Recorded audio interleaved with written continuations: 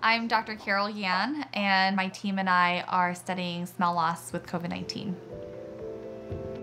Fortunately, most people do get their sense of smell back, at least most of it. Um, and usually the time period's around two to four weeks or so. But unfortunately, that leaves about a quarter of the people who haven't had their smell come back yet.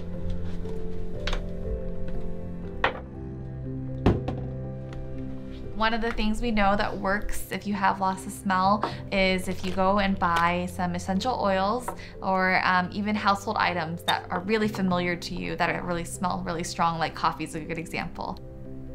And at least twice a day, just bring them very close to your nose and practice taking nice, slow sniffs and smelling them deeply and thinking to yourself, I know what coffee smells like.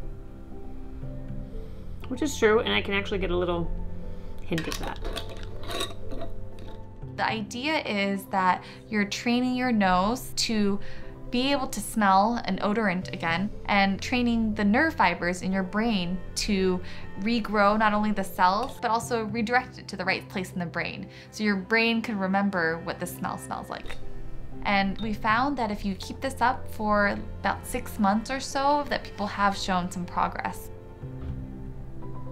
So, you know, there's definitely still hope for Krista um, in getting her smell back. But I will say as time goes on, that hope is a little bit less. And there is going to be a subset of people, unfortunately, that we think will not get their sense of smell back. And that can be quite devastating.